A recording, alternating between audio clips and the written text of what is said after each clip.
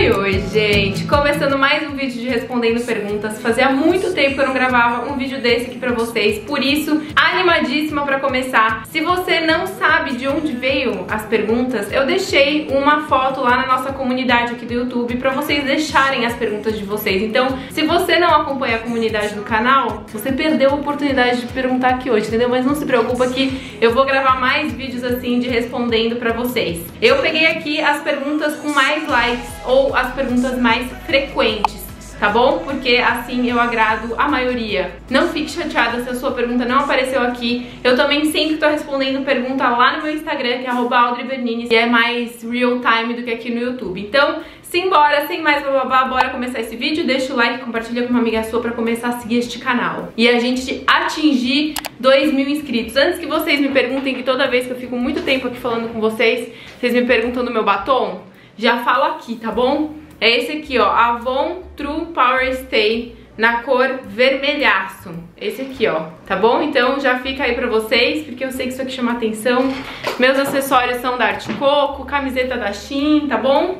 Que sempre rola. Bom, primeira pergunta é uma pergunta um pouco mais polêmica. Ah, e deixa eu falar. Eu não vi, assim, eu vi porque eu tive que selecionar as perguntas, mas eu não fiquei pensando muito em cada uma. Então o que vai sair aqui é, é o ao vivo e a cores, tá? Primeira pergunta da Vitória Oliveira. Como você lida com comentários maldosos ou de pessoas que acham que sua vida se resume a 20 ou 30 minutos de vídeo? Beijos pra você, pro Rô e para as gatitas. Beijo pra você também, Vitória. Bom, eu apago eles. Basicamente é isso, porque assim, gente, é uma crítica construtiva que te machuca, que te ofende, não é uma crítica construtiva. É literalmente um comentário maldoso que não vai agregar em absolutamente nada na minha vida e nem na vida das pessoas que eu amo e nem nas pessoas que seguem o canal. Só vai ficar ali é, talvez começando assuntos desnecessários, porque o que a pessoa comentou com certeza é desnecessário, é uma energia negativa. Eu penso que muito do que a pessoa externaliza é aquilo que ela tem dentro dela, então se ela tá comentando aquilo, é porque a vida dela deve estar tá péssima, horrível. Eu não respondo comentário negativo, eu simplesmente apago eles. Eu acho que talvez uma vez no canal eu já respondi, mas pra vocês verem como é relevante, eu nem lembro qual que era o comentário. E então é isso. O que, que como que eu lido? Eu apago eles, eu entendo que o que aquela pessoa é, tá externalizando é o que vem dentro dela. Então, se é maldade, se é coisa negativa, eu vou simplesmente bloquear e apagar. A maioria das pessoas, se você aí, quer dizer, a pessoa não vai estar tá vendo, né? Mas quem é bloqueado do meu canal ou do meu Instagram é porque fez algum comentário infeliz, seja aqui no meu perfil, aqui no meu perfil perfil não, aqui no meu canal no YouTube ou no meu perfil no Instagram ou no TikTok. E tem muitos, gente, que eu acabo não vendo e se vocês verem, simplesmente ignorem, não criem briga. É, são pessoas que são vazias. É, esse é o meu pensamento. E muitas vezes, agora como que eu lido com isso, né? Muitas vezes me machuca, tá? Eu sei que isso acaba instigando mais ainda uma pessoa ruim a, a comentar coisas negativas, saber que eu me importo, mas sim, eu me importo, eu sou um ser humano, eu bloqueio, eu apago, mas aquilo fica na minha cabeça, porque normalmente a pessoa pode até mexer numa ferida sua. E eu venho trabalhando isso ao longo dos dois, três anos aí que a gente já tem de canal. E é isso. Eu apago, muitas vezes me machuca, mas vida que segue, né, gente? São os prós e os contras de ter a vida aberta aí no YouTube, no Instagram, em todos os lugares. É você e você conseguir continuar. Eu acho que esse é um dos maiores contras, assim, de trabalhar com a internet, é você poder receber esse tipo de comentário. E aprender a lidar com isso, mas graças a Deus eu tenho o Rô, o Rô me ajuda muito. E ele sempre fala, é um é um comentário negativo de 300, você vai ligar pra esse um? Então é isso, é muito trabalhar o mental, é assim que eu lido. Próxima pergunta da Laís Cavalcante. Como é a rotina do Rô? Essa aqui a gente achou muito engraçada, tá? Porque ele foi ler as perguntas e me falou Quando você ficar milionário no YouTube, porque vai... Nossa, Deus te ouça, amiga. Ele pretende sair do trabalho pra te acompanhar? Vejo que alguns maridos fazem isso. Ele daria um ótimo youtuber também. Vocês são fofíssimos e engraçados juntos. Muito obrigada por estar com a gente, por todos os elogios e como que é a rotina do Rô. Resumindo, o Rô, ele acorda muito cedo. O Rô, ele acorda 5h40 da manhã pra tomar banho, que ele tem que sair daqui de casa é, 6h50 para estar no fretado 7 horas, que ele viaja todos os dias uma hora até Cabreúva, ele, ele trabalha em outra cidade, volta de fretado, chega em casa só à noitão, que é o único tempo que eu tenho para ficar com ele, e também de manhã, quando eu acordo para fazer o café da manhã pra ele. Ai, mas você faz Sim, a gente pode, mas eu faço questão de acordar e ficar com meu marido de manhã. Eu amo preparar o café da manhã dele, eu pulo da cama assim, ó, quando ele tá com o secador ligado, eu já levanto, já vou lá, preparo o café da manhã. Por isso também que eu parei de treinar às 6 horas da manhã pra poder ficar com ele e eu percebi que também eu conseguia treinar um pouco mais tarde. Então essa é a rotina do Rô, a rotina dele é muito corrida e quando eu ficar milionária no YouTube, ele pretende sair do trabalho pra te acompanhar? Duvido muito, tá? O Rodrigo ele é muito bom no que ele faz ele é engenheiro mecânico, ele é uma pessoa muito inteligente, ele é super articulado, extremamente paciente, até pra estar junto comigo, ele é a pessoa mais paciente do mundo, então eu vejo isso como uma qualidade muito grande nele, até pra posição que ele tá na empresa, o cargo que ele tem. Ele é uma pessoa que sabe gerir muito bem, conversar com as pessoas, lidar com todo mundo. Eu não, eu não acho que ele sairia do trabalho dele pra me acompanhar, mesmo que eu ficasse milionária. E se eu ficar, graças a Deus, ele, ele vai continuar no trabalho dele, tá? Eu acredito que vai ser dessa forma, mas tudo pode mudar lá na frente. E, e você vê que muitos maridos fazem isso. Eu, eu, eu vejo isso, né? A Nina Secrets, a Fabi Santina também acho muito difícil. Ao menos que a gente abrisse uma empresa, tá bom? Se a gente abrisse uma empresa, que é uma vontade nossa, lá no futuro, lá na frente, preciso guardar muito dinheiro pra isso, ele, eu acho que aí sim ele deixaria, mas pra trabalhar comigo em produção de conteúdo não, mas pra abrir uma empresa sim.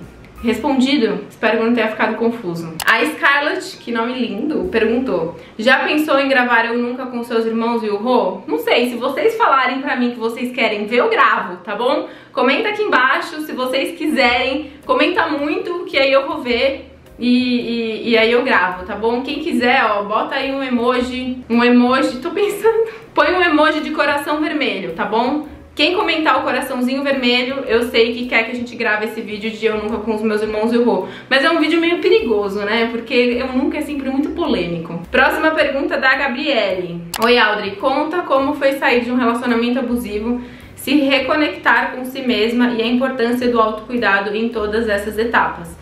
Saí de um relacionamento abusivo com muita dependência emocional. E você e seus vídeos têm me ajudado muito nessa fase. Eu fico honrada de ajudar você, Gabriele, a sair desse momento ou ser também um momento de distração na sua vida. Quando vocês me falam esse tipo de coisa, é o que mais mexe comigo, é o que mais me faz ver que eu tô no caminho certo, porque muitas youtubers que eu acompanho, elas participam desse momento pra mim também. À noite, quando eu tenho crises de ansiedade, que acontece, né? Eu ainda, eu ainda tenho. Sempre, eu sempre ligo um canal no YouTube que eu gosto, principalmente de vlog, assim, pra eu me desconectar, pra eu estar tá ali com, assistindo com a pessoa. Então eu, eu sei o que vocês passam e eu fico honrada de ser essa posição, essa pessoa pra vocês, essa companhia, tá? É, como que foi sair do relacionamento abusivo. Eu acho que eu nunca contei aqui no YouTube, mas no Instagram sempre tem essas perguntas de relacionamento abusivo. Antes do Rô, meu, meu, meu namoro antes do Rô, ele foi extremamente abusivo, foi extremamente tóxico. A pessoa, nem sei se hoje tá se tratando, mas na época era alcoólatra. Eu tentei muito ajudar a sair dessa, mas uma coisa que a gente tem que entender é que quando a pessoa não quer ser ajudada, a gente praticamente fica dando soco em ponto de faca. Não tem o que fazer. Eu demorei muito pra perceber isso. Demorei muito, não, porque na verdade eu acho que eu namorei com essa pessoa um ano e dois meses mais ou menos. E o difícil é você. É, o que você tem que ver é que todo mundo à sua volta tá te falando isso e só você não percebe. Mesmo assim, eu demorei um ano e dois meses para poder terminar, para poder falar, mano, chega, não, isso aqui é uma coisa que eu não quero pra minha vida. Eu acho que o mais importante é você perceber que aquilo não está sendo bom para você. Se você se sente sempre culpada de todas as situações, se você, quando tá com ele, a maior parte do tempo é ruim do que boa, se eu não preciso nem falar de agressão, tá? Tanto verbal quanto física, emocional, se você sente qualquer uma dessas coisas muito presente no relacionamento de vocês, o seu relacionamento é abusivo, tá? Então, eu sei que às vezes a gente tem, cria essa dependência emocional da pessoa, e isso você vê também. Quando você coloca a sua felicidade no outro, aí já é um, um red flag, já é uma bandeirinha vermelha de que, tipo, você precisa se colocar em primeiro lugar. Então, pra mim, foi um alívio. Eu, eu, assim, eu cheguei num nível que quando a gente terminou, eu tava me sentindo aliviada de ter terminado. Foi difícil de tomar a decisão até que a gente saiu de novo, mesmo depois de ter terminado. Mas a partir do momento que eu percebi que aquilo tava sendo extremamente tóxico pra mim, eu terminei. É que no meu caso, é muito triste, mas a pessoa quando ela tá alcoolizada, ela fica extremamente agressiva. Então vocês já imaginam o que aconteceu. Depois de um determinado caso, alguns na verdade, mas um último muito pior, foi quando eu falei, chega, não é isso que eu quero pra minha vida, não é isso que eu quero pros meus filhos, eu me amo em primeiro lugar. Acabei com aquilo. Então, acho que o importante é você se colocar em primeiro lugar, perceber que isso tá sendo tóxico pra você e terminar. Mas assim, amiga, não é terminar de... Ah, paramos de se... Ah, terminou e beleza, ele vai vir falando com você. Não, é acabou. É bloquear o número do celular, é bloquear o Instagram, é bloquear o Facebook, é não ter contato com essa pessoa nunca mais na sua vida. Porque se era tóxico e abusivo, você quer eliminar, entendeu? Pede pra Deus te ajudar a eliminar essa pessoa da sua vida. Foi isso que eu fiz e, e graças a Deus isso acabou. Eu espero que eu tenha respondido sua pergunta. Se você está em um relacionamento abusivo, você quer sair dele, você precisa se desligar dessa pessoa de todas as formas possíveis. Porque se a a, a, essa relação de tóxico pode ser tanto de você com ele e ele com você, e você dependente emocional dele e ele dependente emocional de você. Então você vai ter que tomar a atitude de cortar de vez e acabar. Não faça pela metade, não continuem se falando. Um relacionamento tóxico não acrescenta para nenhum dos dois, é abusivo. Então termine para sempre. E aí com o tempo você vai aprender a se amar e se colocar em primeiro lugar, a se conhecer e ser feliz consigo mesma. Aí sim você vai poder no futuro ter um relacionamento com outra pessoa, porque você vai ter entendido que primeiro é você depois vem a outra pessoa, porque se você depende da felicidade do outro para você ser feliz, você nunca vai ser feliz. Então é um processo, corta ele da sua vida, tá? De todas as formas. Próxima pergunta, Nessa Rodrigues. Conta um pouco sobre o seu inglês, como aprendeu e algumas dicas para quem quer aprender. Assim, Pra mim, eu fiz, é, eu sempre fiz aulas de inglês quando era mais nova na Wizard de fato fui aprender quando eu fiz intercâmbio. Então, o importante para você de fato aprender é você falar. Não adianta você ficar estudando, estudando no papel 500 livros. Você precisa falar, você precisa ter a prática, entendeu? E é falando que você vai perdendo a vergonha e não tenha medo de errar. Então, Pra você de fato aprender inglês, eu só de fato aprendi quando eu vivi fora do Brasil, mas você pode ter aulas. É por isso que eu falo pra vocês, aqui não é publicidade do Candy mas fazer aulas de inglês praticando com uma pessoa nativa é a melhor forma, entendeu? Ouvindo música em inglês, lendo as lyrics, né, a letra em inglês, assistindo série em inglês e, de, e deixando com a legenda em inglês para você entender o que aquela pessoa tá falando. Então acho que a melhor forma é você praticar falando também, não é só estudando, você precisa soltar a língua. Se você não soltar a língua, menina, você não vai aprender. Então faz isso. Se você tiver condições é, de fazer o intercâmbio, eu, assim, eu super recomendo. Eu com certeza vou botar meus filhos no mundo para fazer intercâmbio, que é a melhor forma de você aprender inglês.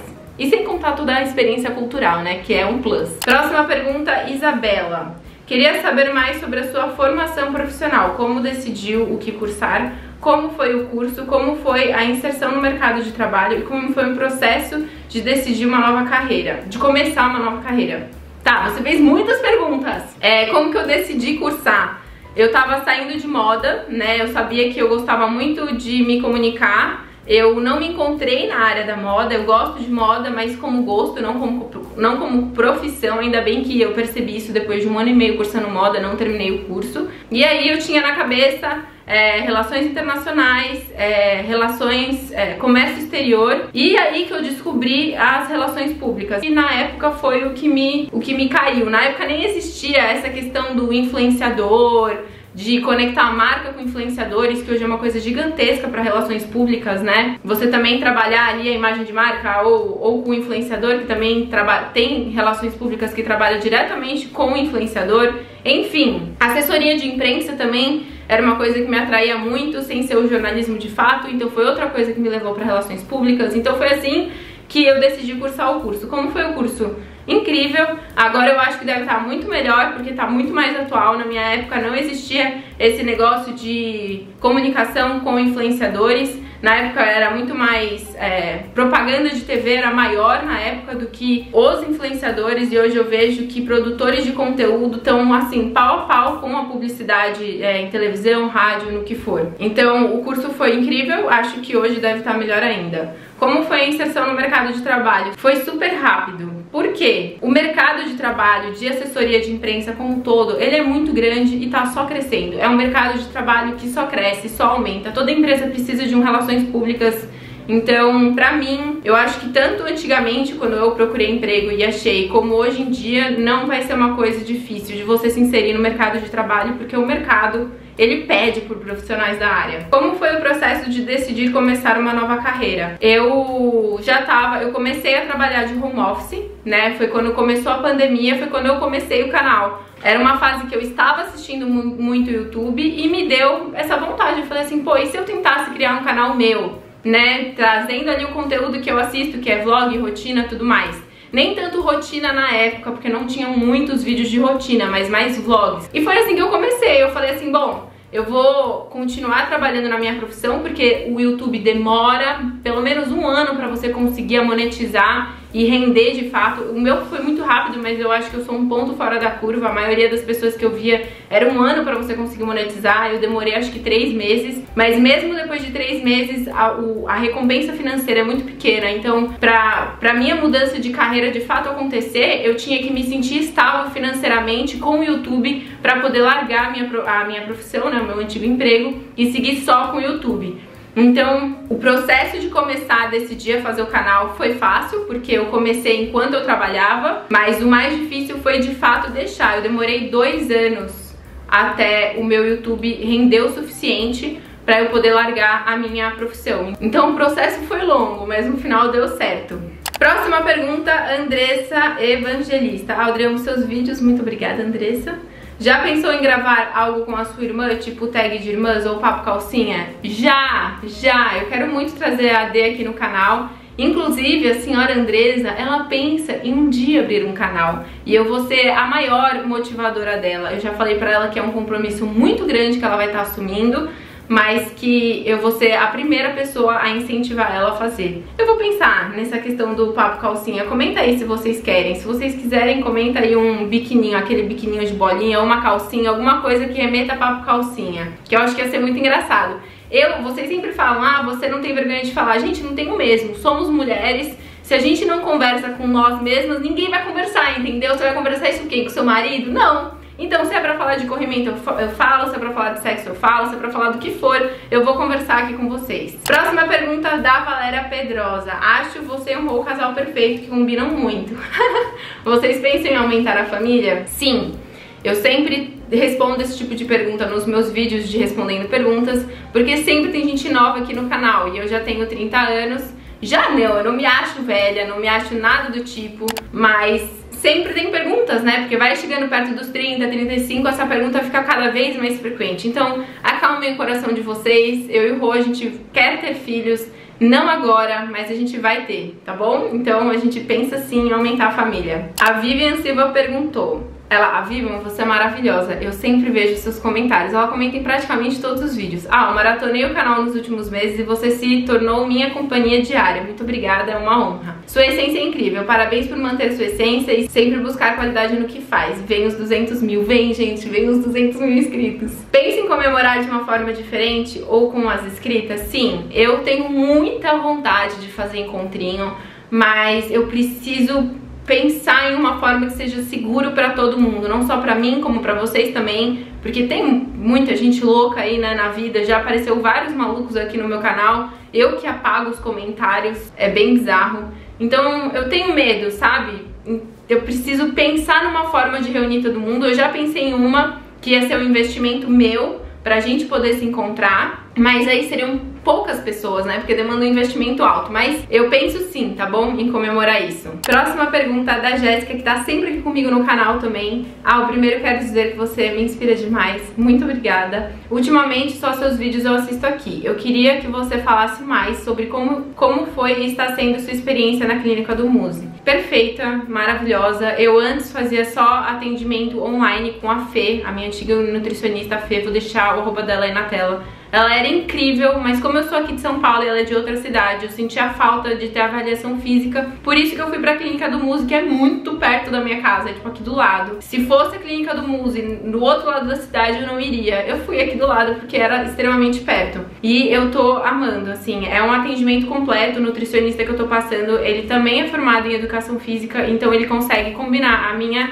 dieta, né, meu plano alimentar com os meus treinos. Ele sabe o que eu tô comendo, ele sabe o quanto que ele pode exigir de mim nos meus treinos. Então é um atendimento completo. Poderia falar a, a média de valores da consulta? Então, eu não sei como são com todos os médicos lá dentro, eu acredito que mude de um pro outro. Atualmente, a consulta ela pode variar de 500 até mil e tralalá de reais. Eu não vou abrir de fato o valor, porque não sei se isso muda de profissional para profissional lá dentro. Então, se vocês quiserem realmente saber o valor exato, entre em contato lá na Clínica do Música, elas respondem super bem pelo WhatsApp. E é isso, então não é barato, é, é bem caro, mas é um investimento que eu faço na minha saúde e gosto bastante de lá. O que te fez decidir ir na clínica dele, a distância, né, que é aqui do ladinho, e se existe protocolo fechado que eles passam. Não existe protocolo, pelo menos eu não perguntei sobre um. Desde o momento um que eu cheguei lá, tudo foi muito personalizado, então não, eles não fazem nenhum tipo de protocolo. E eu sei o tipo de protocolo que você tá falando porque eu já passei em outros momentos da minha vida antes do canal com outros profissionais que faziam aquele negócio, sabe, que te imprimia e você sabia que aquilo não foi muito bem pensado pra você, mas é pra perda de peso em geral. Então, é, eu sei o que você tá falando, mas lá não tem isso, é super personalizado. A Jéssica Costa perguntou: Ah, você nos inspira demais. Minha pergunta é: quem te inspira? Você tem uma pessoa específica que não perde nenhum vídeo e stories? Eu tô pensando aqui, porque tem algumas influenciadoras que eu assisto muito os vlogs e vídeos como um todo. É, tem algumas gringas também, mas assim, as brasileiras que vocês conhecem, Fabi Santina, Nina Secrets, é, os stories da Fabi da Nina não tanto, mas é tipo assim, canal no YouTube. O Instagram, os stories, gente, eu não sou de ficar assistindo. Eu sou muito mais do YouTube. Tipo assim, chega de noite, eu não quero nem ver o meu celular, porque eu trabalho com isso, entendeu? Eu quero chegar, sentar no sofá e assistir um vlog bem gostoso. Eu sou esse tipo de pessoa. Então eu assisto Fabi Santina. Então eu posso não falar dos stories, porque dos stories eu não sou de ficar acompanhando alguém assim. Mas Fabi Santina, é, Nina Secrets, né, como eu já falei 500 vezes, Nicole Prazeres, tô pensando aqui em quem mais. Deixa eu abrir os meus canais no YouTube pra, pra poder falar pra vocês. Ah, um stories que eu gosto muito de assistir é o da Marissa Adi. Ela não produz mais conteúdo no, no YouTube tanto, né? Mas os stories dela eu gosto bastante. De Brasil, tá? Tô falando Brasil. Ah, aqui, outros canais que eu assisto muito. O Cortes do Casemiro, eu amo assistir o Casemiro. É, Primo Cast, eu assisto muito, escuto muito os... E assisto também os podcasts. Tainara Reis, eu amo a Tainara Reis. Sou fissurada nos vídeos de tutorial de make dela. Eu acho que ela tem uma análise dos produtos maravilhosa. A Carol Pinheiro, que eu adoro, que eu sei que muitas de vocês também assistem. Eu sou fanzaça dela desde a época que ela era jornalista na Capricho, mano, é muito tempo. Os sócios eu acompanho muito. A Ana Lídia Lopes é outra influenciadora que eu gosto bastante dos vlogs. É uma pegada de vlog totalmente diferente do meu, mas ela traz uma paz assim, quando você tá assistindo, eu amo. E a rotina dela não tem nada a ver com a minha, ela tem filhos já, tipo, é totalmente diferente, mas eu tenho um prazer muito grande em assistir ela até pela fé que ela tem. Ela é uma pessoa, ela é uma mulher de fé e eu admiro isso muito nela, assim. Então gosto de assistir. Aí falei de fé e agora uma pessoa totalmente nada a ver, que é o Diogo Defante também. Dou várias risadas com ele. Gosto da Bianca Andrade. Gente, se eu puder falar aqui, eu assisto muito YouTube, tá? Joyce Kitamura, tô vendo aqui. É isso, essa, esses são os canais que eu mais assisto. E também tem é, os canais das gringas, que eu assisto. A, a Fleur de Force, que eu nem sei falar o nome dela, que ela mora lá, no, lá na Inglaterra. Tem a Games by Brains. Tem a Vi Rocha também, Vi Rocha brasileira. Tem a Michelle Choi. Tem a Alia Zaita, que eu gosto bastante. A Ana Newbert, que é outra que eu assisto. A Chelsea Trevor. Gente, YouTube eu tenho uma penca de gente pra falar pra vocês. Você tem uma meta pessoal pra atingir com relação ao seu corpo? Sim. Eu tenho um grande desejo de conseguir definir principalmente a minha perna, mas eu sei que isso é um longo caminho. Então aqui no meu canal eu nunca falo só sobre resultado físico, eu aproveito muito o processo, eu vou aprendendo muito com tudo que eu vivo que é o que eu compartilho aqui com vocês. Então, por mais que eu fale, ah, eu quero definir a minha perna, eu não sou o tipo de pessoa que vai vir aqui e ficar falando que eu tô frustrada 500 vezes, que eu não tô conseguindo a definição muscular. Eu tô aproveitando o processo, entendeu? Eu vivo uma vida saudável, que seja bom pro físico e pro mental também, que é o mais importante. E é isso, mas assim, quero definir minha perna? Quero, mas eu vou no meu tempo, no meu processo, sem ficar com neura na cabeça, porque eu vejo que, infelizmente, o mundo fitness é um mundo que as pessoas ficam muito bitoladas naquilo. E eu não quero esse tipo de coisa por aqui. Próxima pergunta da Ju Gomes. Cadê? Você e o Rô soltam um pum na frente um do outro? Sim! Gente, não tem como não soltar pum na frente do marido.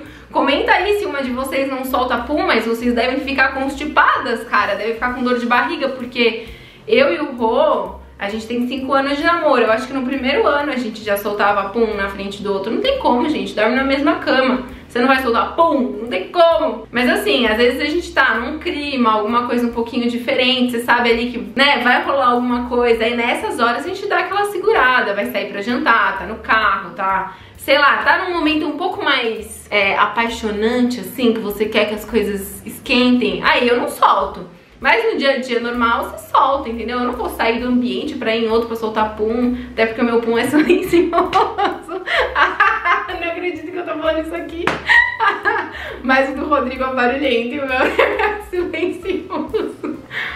É, próxima pergunta é da Joana. Alguma coisa te assustou com a idade? Pressão para água, achievements, beijo de Portugal. Eu quero um dia ir pra Portugal e fazer um encontrinho, de verdade. Eu quero muito pra Portugal, cara. Beijo pra você também, Jo. É, pressão para algo, sim, filhos.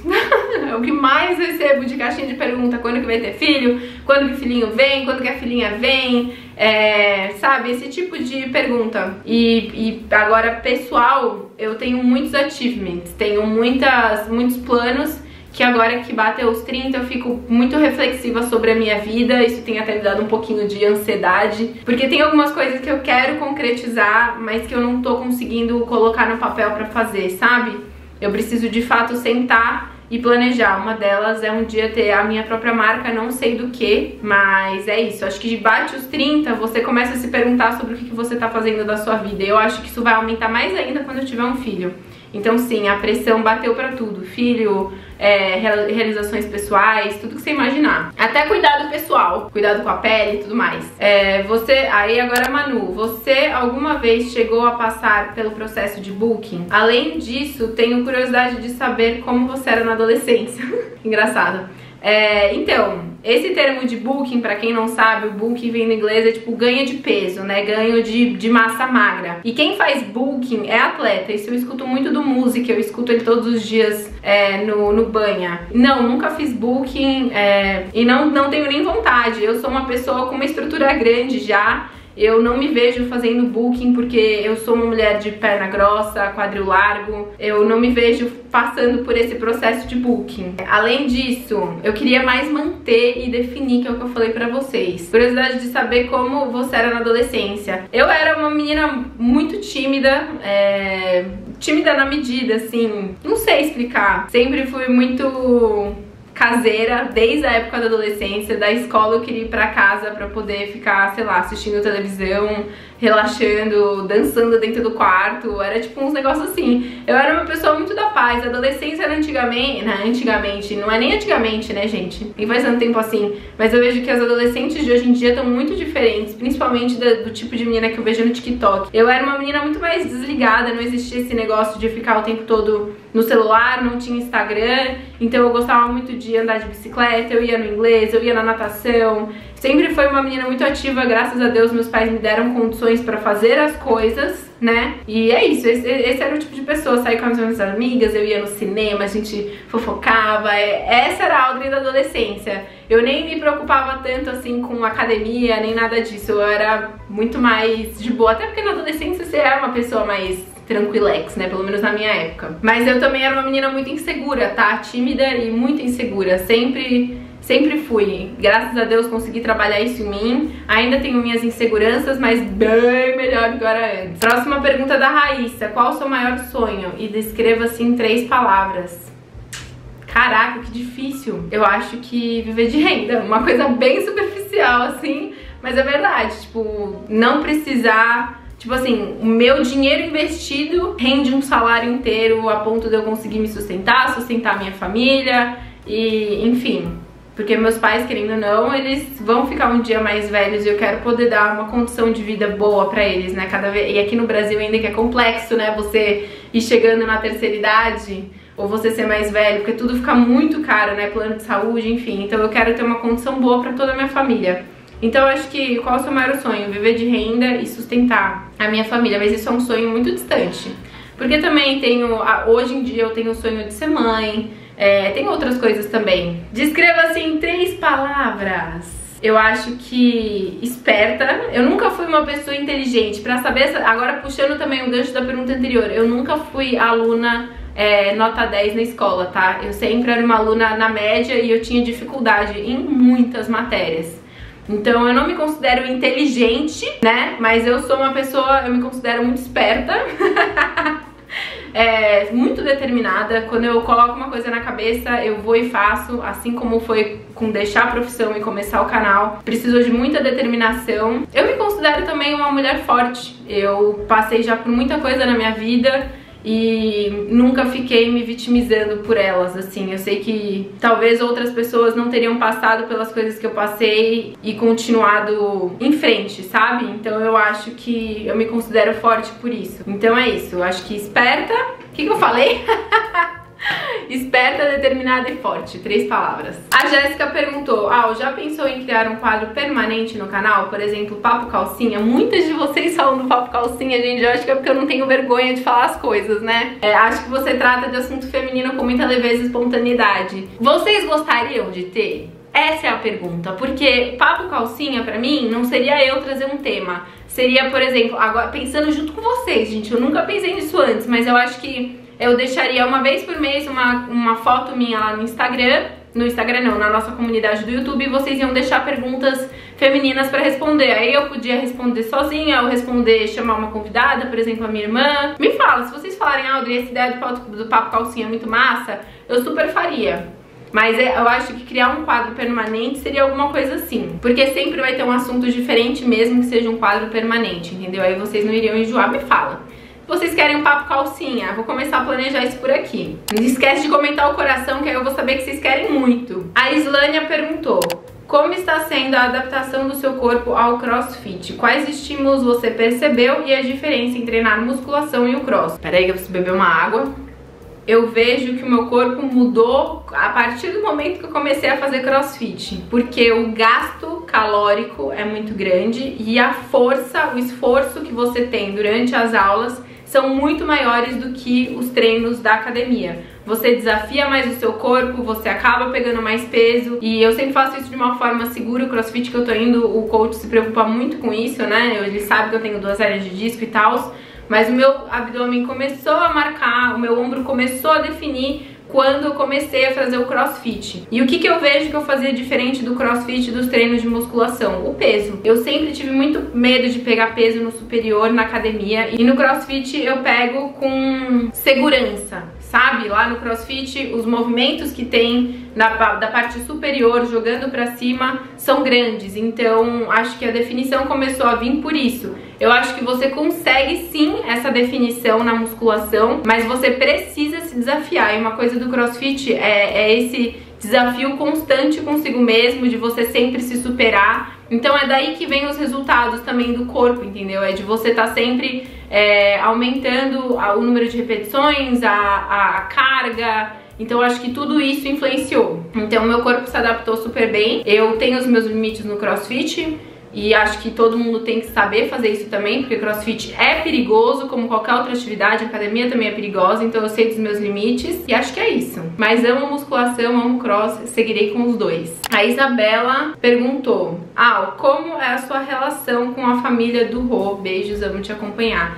Acho que essa é uma curiosidade muito grande. Eu vejo que vocês pedem para mostrar mais a minha família e a família do Rô aqui no canal, mas o que eu tenho para falar para vocês? Nem todo mundo se sente à vontade na frente das câmeras. Às vezes você tá em um momento de família e você tira a câmera e começa a gravar, a reação das pessoas é outra. Uma coisa é você tá ali, outra coisa é você tá com uma câmera junto, entendeu? Então, eu acabo não filmando muito nem minha família, nem a família do Rô. Às vezes eu filmo a minha família por ser a minha família, eu pergunto ali se eu posso filmar, mas a família do Rô eu evito filmar porque não tem necessidade de expor as pessoas, nem todo mundo se sente à vontade na frente das câmeras. Então eu sei separar bem esses momentos. Agora, não é porque eu não filmo eles que a minha relação com a família dele não seja boa. Graças a Deus a minha relação com a minha sogra, com meu sogro, com meu cunhado, com, com meu cunhado, com a minha cunhada é muito boa. Eu nunca tive problema com eles.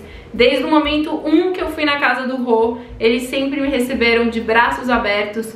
É uma família que tá sempre reunida, é uma família, é uma família forte, é uma família que eu admiro muito. Eu gosto muito deles, tenho um carinho muito grande por eles. Eu aprendo muito com eles também. E é isso. Então não é porque eu não gravo que a minha relação com eles não é boa. Minha relação com eles é extremamente boa. Eu amo todos ali, de verdade. E gente, vou encerrar esse vídeo de respondendo perguntas por aqui. Eu espero que vocês tenham gostado. Espero que eu não tenha me prolongado demais. Eu não tenho noção de quanto tempo gravei se eu vou ter que dividir esse vídeo em dois, eu espero que não, né? Eu vou deixar o, esse vídeo, as perguntas minutadas, pra quem quiser assistir uma pergunta específica ir lá e assistir. Eu devia ter falado isso no começo e não agora, né? Mas eu deixo minutado porque às vezes você não quer assistir tudo, né? Ainda mais se deu uma hora. Mas quem me ama vai assistir tudo e vai deixar o like agora, compartilhar com uma amiga e vamos a 200 mil inscritos. Eu espero que vocês tenham gostado de passar esses momentinhos comigo. Eu amo muito, muito de verdade vocês. Um beijo no coração e até o próximo vídeo.